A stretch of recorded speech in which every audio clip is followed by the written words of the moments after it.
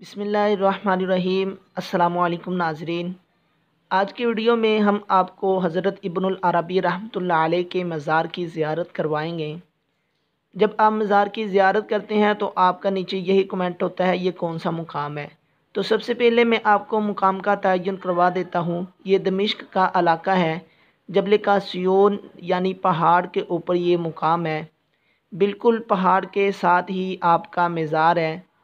मैं आपको जूम करके थोड़ा सा दिखाता हूँ, ये कौन सा इलाका है? दमिश्क का इलाका है, जबल कासियून पहाड़ है, उसके ऊपर ये दरबार मौजूद है। ये है जबल कासियून। और ये रेतली इलाका है। अब मैं आपको वीडियो की जानब लेकर चलता हूँ। ये वो पहाड़ है, जबल कासियून, और इसके बिल्कुल साथ ही ये मस्जिद है, और आपका मज़ार भी है। ये मस्जिद का मीनार है और ये आपका मज़ार है। आपका जो मज़ार है, वो नीचे तय खाने में बना हुआ है। तो उसकी मैं आपको ज़ियारत करवाता हूँ। ये बाहर के मनाजिर है। अब चलते हैं हम अंदर की जानब और अंदर के आपको मनाजिर दिखाता हूँ। ये है मज़ार के बैरूनी मनाजर। यहाँ पर आप देख सकते हैं कुछ लोग बैठे हुए हैं। ये मज़ार के बैरूनी मनाजर है। हज़रत इब्नुल अरबी रहमतुल्लाह के मज़ार के ये बैरूनी मनाजर है। और ये नीचे आपकी मज़ार मुबारक है। ये आप देख सकते हैं मकाम हज़रत शेखुल अकबर। ये नीचे को सीढ़ियाँ जाती है और नीचे आपका मज़ार है। और यहाँ पर एक आयात लिखी हुई है, नब्बी इबादी अन्नी अनल गफ़ूर रहीम।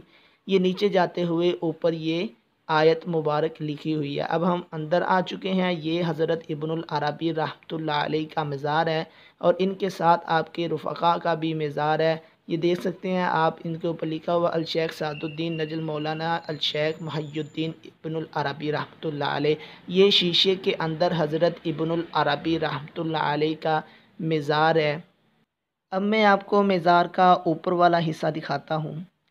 ये मज़ार का ऊपर वाला हिस्सा है और इससे एक फ़नूस लटक रहा है ये बहुत ही प्यारा है। हज़रत इब्नुल अरबी रहमतुल्लाह अलैह एक जैद आलम दीन और वली अल्लाह थे। आपके पास एक कुर्ता था, जो दरअसल हज़रत खिज़र सलाम का था, जो आपको हज़रत अहमद यूसवी रहमतुल्लाह अलैह से हासिल हुआ। ये कुर्ता आपने मुजाहिद इस्लाम के इस अजीम नौजवान को अता किया, जिसका नाम इर्तुगरुल गाज़ी था। फिर ये जुब्बा आपकी नस्ल में आगे चलता रहा। इस जुब्बे की करामात ये थी कि जो भी इसको पहन कर जहाद पे जाता, फ़तह इसका मुकद्दर बनती।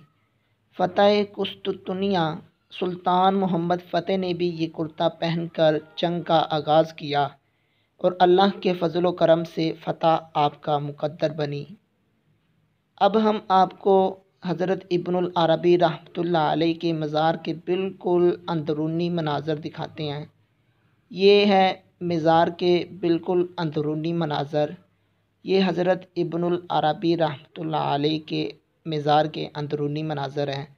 हज़रत इब्नुल अरबी रहमतुल्लाह जो कि शेख अकबर के नाम से भी मशहूर हैं। ये जो शेख अकबर का लकब है, आपके सवा मुसलमानों की तारीख में किसी को अता नहीं हुआ। आखिर पर दुआ है, अल्लाह रब्बुल इज़्ज़त इनके मज़ारात पर करोड़ा अरबहा लातदात रहमतों का नजूल फरमाए। और हमें इनके मज़ारात की बार बार हाज़िरी की तोफ़ी अता फ़रमाए, आमीन।